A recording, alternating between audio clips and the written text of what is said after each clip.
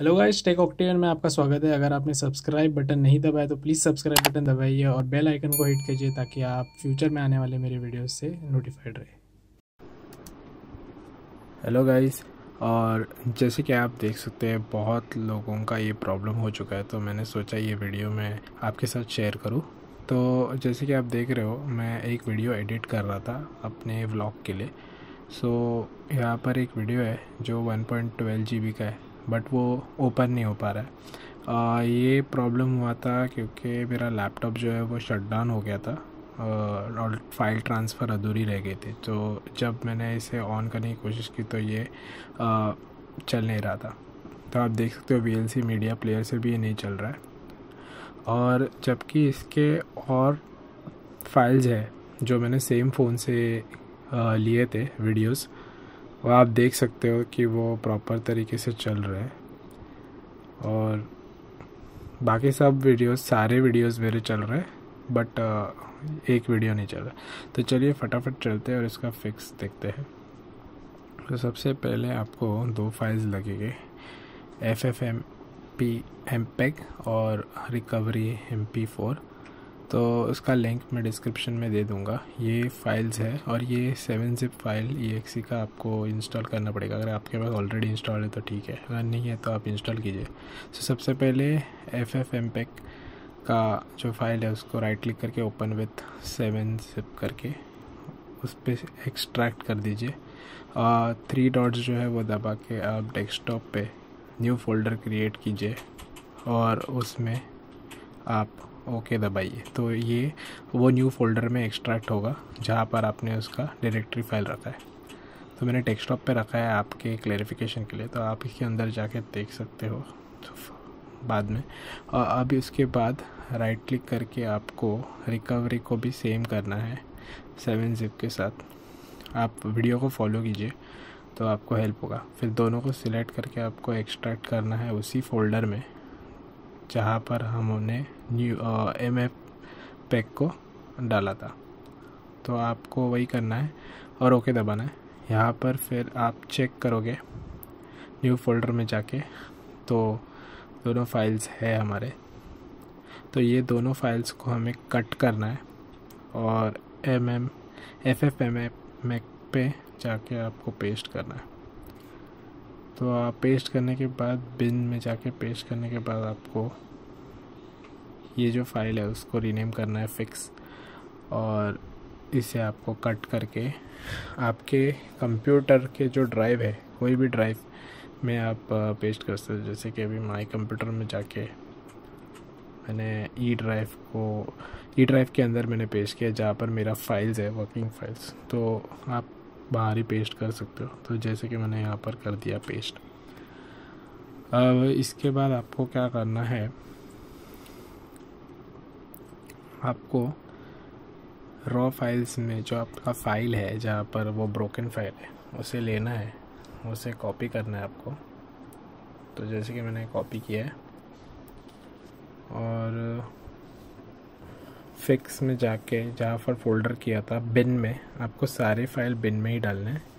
तो बिन में जाके आपको, जैसे कि पता है कि ये फ़ाइल वर्किंग नहीं है तो मैंने इसको नेम दिया है पैड क्योंकि आप कुछ भी नेम दे सकते हो आपके फ़ाइल के लिए बट ये प्रॉपर अंडरस्टैंडिंग के लिए मैंने बैड नेम दिया।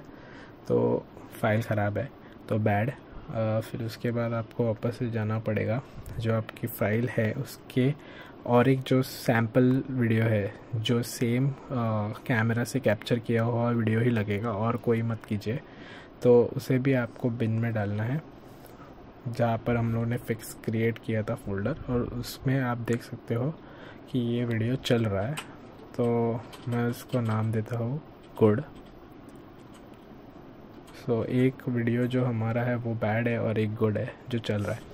तो ठीक है तो ये सारी चीज़ें साइड में रखते हैं। तो आप देख लीजिए ये जो एड्रेस है आपको वो कॉपी करना है सिलेक्ट करके। आप डबल क्लिक करके उसको कॉपी कर सकते हो सिलेक्ट करके। तो वीडियो को अंत तक फॉलो करना नहीं तो आप कोई कोई भी स्टेप पे फंस सकते हो।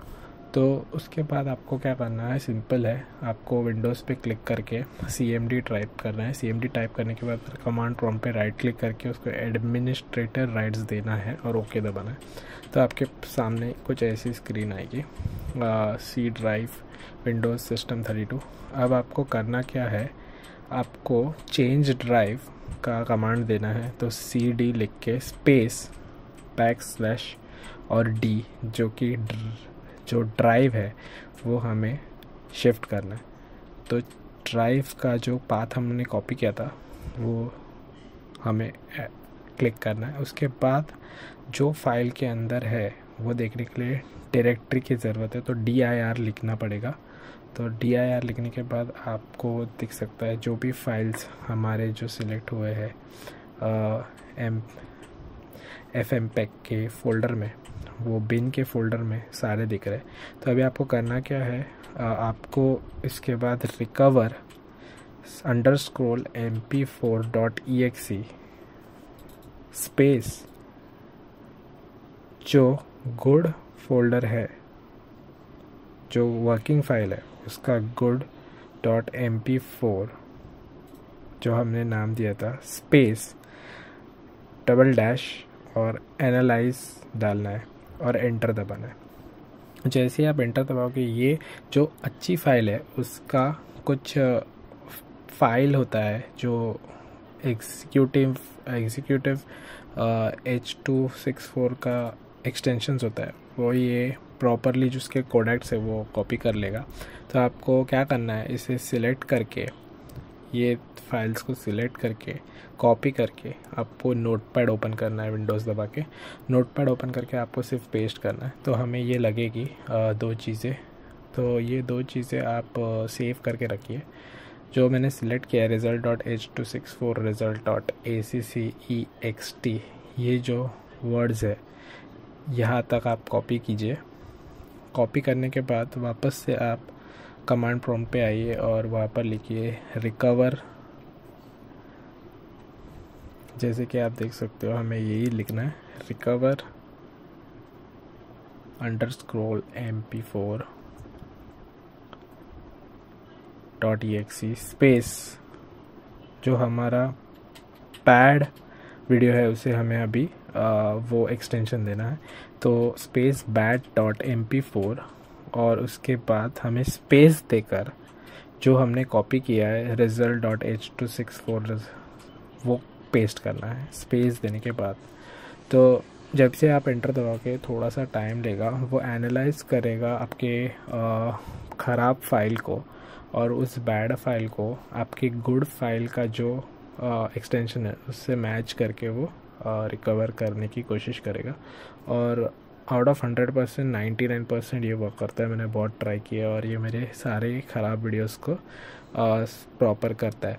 तो आप देख सकते हो प्रो, प्रोसेस कंप्लीट हो चुका है। तो आपको उसके बाद का जो है एफ़ एम का पूरी लाइन कॉपी करनी है और सीधा आपको पेस्ट करना है यहाँ पर। रिकवरी वगैरह कुछ नहीं डालना है सीधा पेस्ट करके एंटर दबाना है। तो आप देख लीजिए उसके बाद ये टाइम लेगा, कुछ समय लेगा, क्योंकि मेरी फ़ाइल 1.12 पॉइंट की है। आपकी अगर बड़ी होगी तो ज़्यादा टाइम लेगा। तो टाइम लेगा फिक्स करने में तो पेशेंस रखिए। और जैसे ही आपका ये जो ख़त्म हो जाएगा तो आपको वापस से यही दिखेगा ई फिक्स एम का जो एड्रेस है वो। फिर आपको सब कुछ बंद करना है और वापस से आपको वो फिक्स फोल्डर पे जाना है जो हम लोगों ने क्रिएट करके आ, हमारे फाइल्स में डाला था। तो आप बिन में अगर जाओगे तो आपको एक फ़ाइल मिलेगी रिज़ल्ट करके। तो आप देख सकते हो रिज़ल्ट एम करके फ़ाइल जनरेट होगी। वही फ़ाइल आपकी जो है जो ख़राब थी उसे रिकवर कर दिया गया है। तो ये सॉफ्टवेयर काफ़ी बेहतरीन है तो आप ज़रूर वीडियो को लाइक कीजिए अगर आपको ये यूज़फुल यूज़ में आता है और शेयर कीजिए ये वीडियो ताकि और भी लोग अगर किसी को कुछ प्रॉब्लम है तो वो सॉल्व हो जाए। तो ठीक है till then take care everyone bye bye